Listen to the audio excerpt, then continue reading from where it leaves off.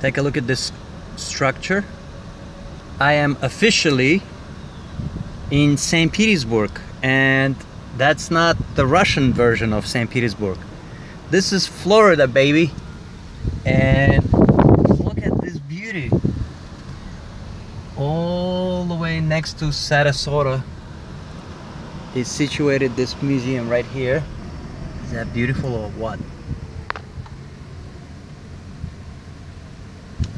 I'm pretty sure the architect uh, used one of the images from Dali's paintings in order to create this building, which was constructed uh, a few years ago, maybe about uh, four years ago, in 2011.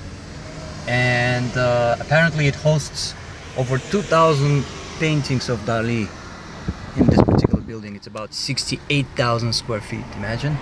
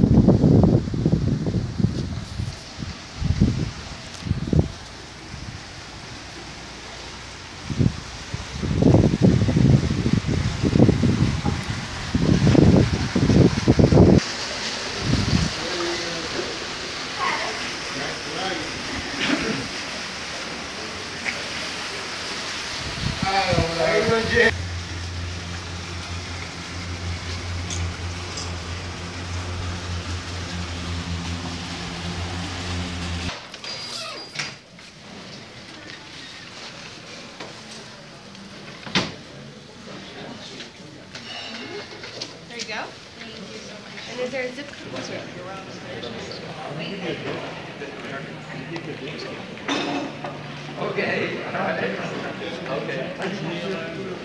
This is the lobby. The actual artwork is uh, in uh, on the third floor because it's a hurricane region. So to protect the art, they put it on the third floor. Now check this out. This staircase is is a spiral that spirals up and then it just goes into nothing. You see? It just and that's it. It just hangs there. But it is a staircase. Is that amazing or what? Let me drop, uh, walk you through it. So, yep, 2011, on January the 11th, 2011, this museum was opened. Created from the dream.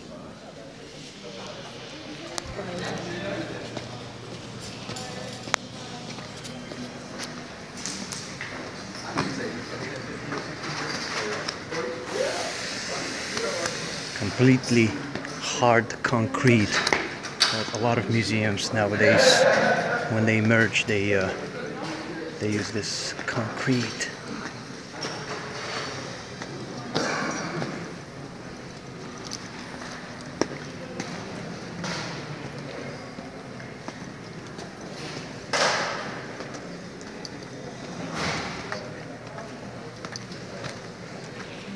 And the swirl continues up.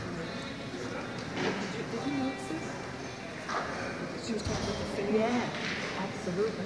It's crazy. But it looks like it's cracking over there.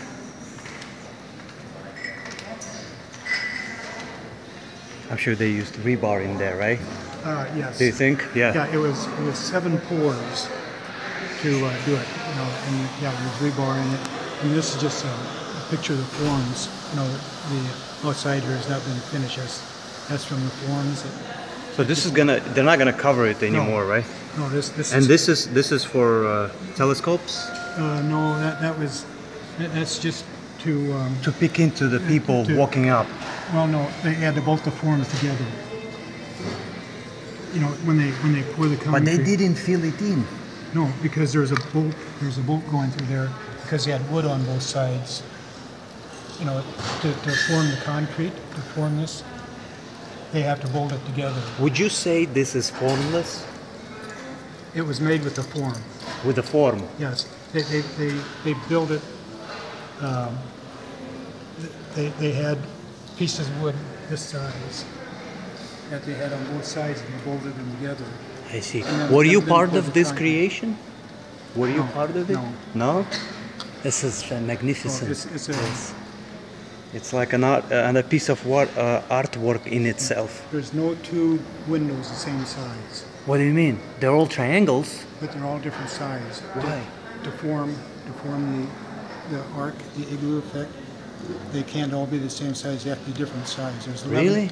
There's eleven hundred windows up there and they're all, all different. All throughout. That's amazing. Fascinating. So I take it it was taken from Dali's painting. Uh, Was it not? No, Dali- The, the, the architectural kind of Well, yeah, this is similar, this is similar, the, the glass work is similar to the one that's in uh, Spain. Right, there's, uh, what is it, in, in Madrid, right? Or Uh, well, there's one in Madrid and there's one in, um, uh, Which contains the most paintings? I don't know, we have forty-six here. Uh, I don't know how many are in Madrid. How many? I don't know how many, there's forty-six here, 46 paintings? I was told it's 2,000. not, not, a- not a dollars, The Dali's only 46. yeah. Oh, and what about the rest? And- Escher? And Escher, Escher, uh, I don't recall the number, I think there's maybe ninety, There's a restaurant downtown of St. Petersburg, Florida. The food is amazing. But look at the decor; it's like a museum of some sort, but like a modern art museum.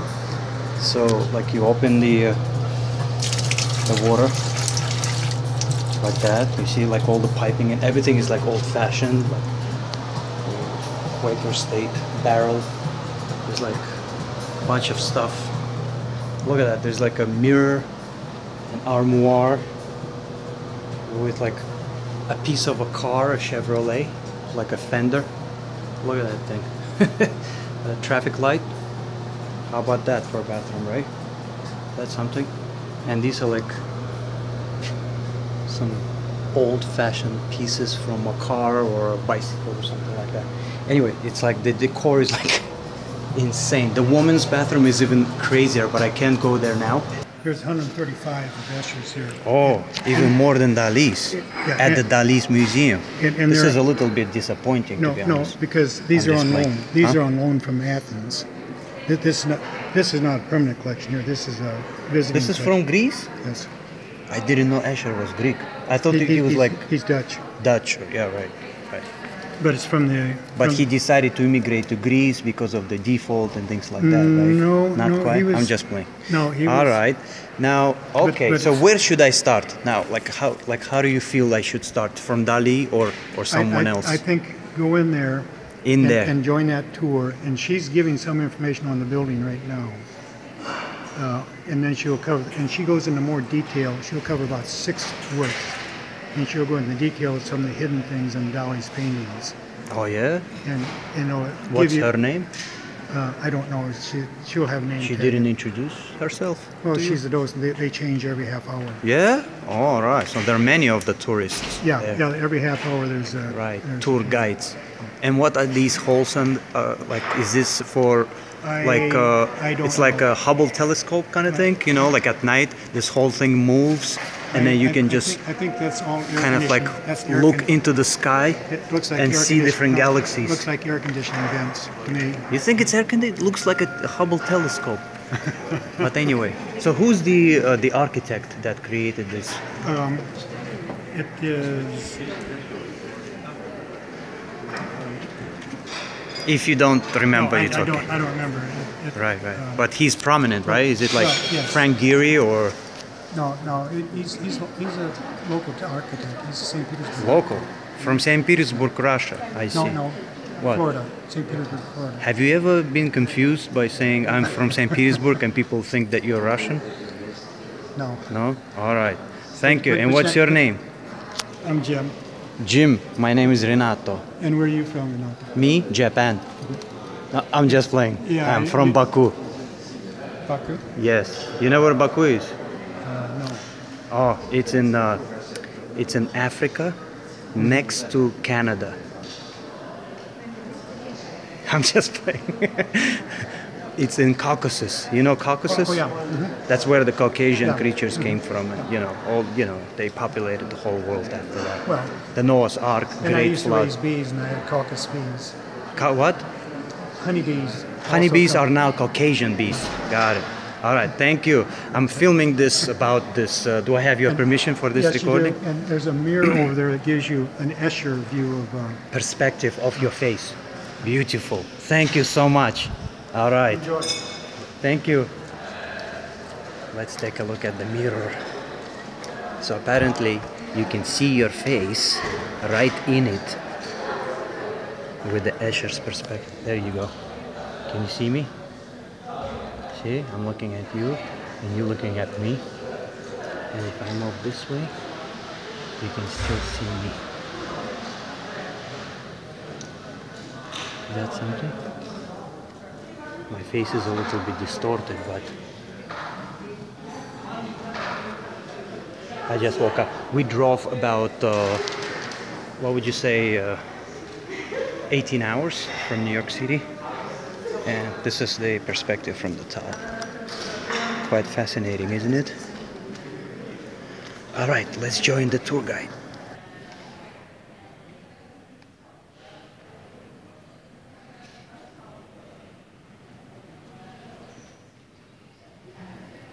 Now, Dali was a very controversial figure.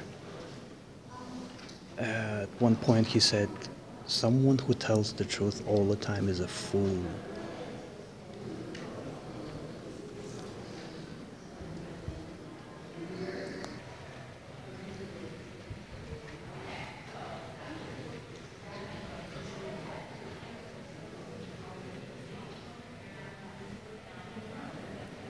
Was a collaborator with psychoanalyst Sigmund Freud. They were very good friends, at least in the beginning, and Sigmund Freud would listen to his dreams and then they would interpret. In fact, Sigmund Freud wrote a book called Interpretation of Dreams.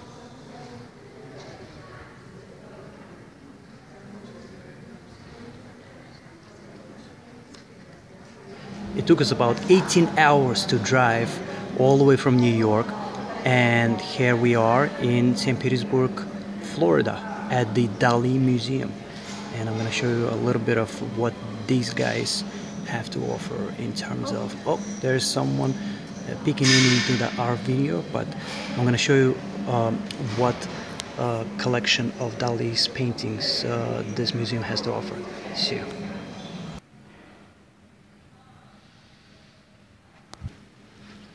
I gotta be quick because they're almost closing. So these are the earliest works of his. This is when he was just starting out. As you could see, a lot of his works are kind of academic, but that's 1918, believe it or not. And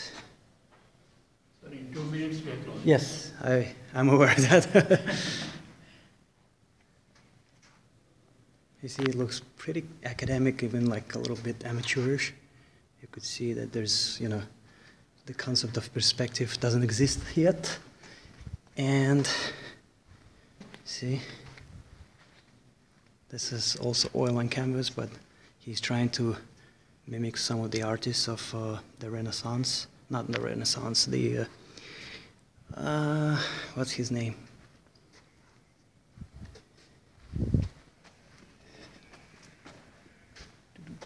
And this is where I think he already met Gala. As you could see, the that's kind of the break.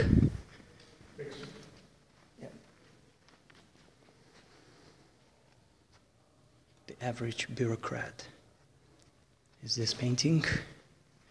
I like this painting a lot as well. It's called Meditation on the Harp.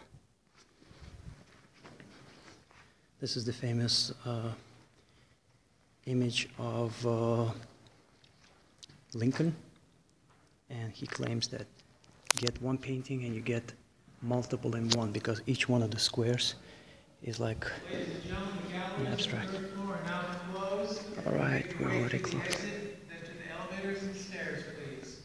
Thank you. Have a good evening. Sure.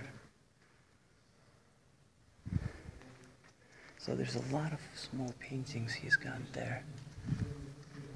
Right there. Which way is the elevator? Right through this way. Mm-hmm. Right through. This is he's coming to America. Uh-huh. We are at the Dali Museum and Judith is helping me understand the whole structure of this building as well as the history behind Dali's museum. All right. Well, let's start with the building first. The building was built five years ago. We moved in five years ago come January. And Yann Weymouth, the architect, designed this building. American? American with that name. The building itself is poured concrete. You can tell it's 18 inches thick. And it was poured by men of Hidalgo, Mexico, who are the world's eminent concrete masons. Hmm.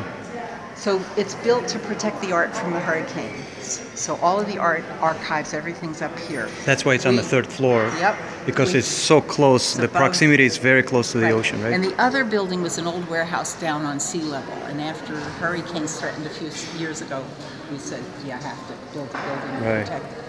So the building is built, the city gave us the property because Dali lived on the water. So we have this place looking at the sailboats. The uh, Dali loved Buckminster Fuller.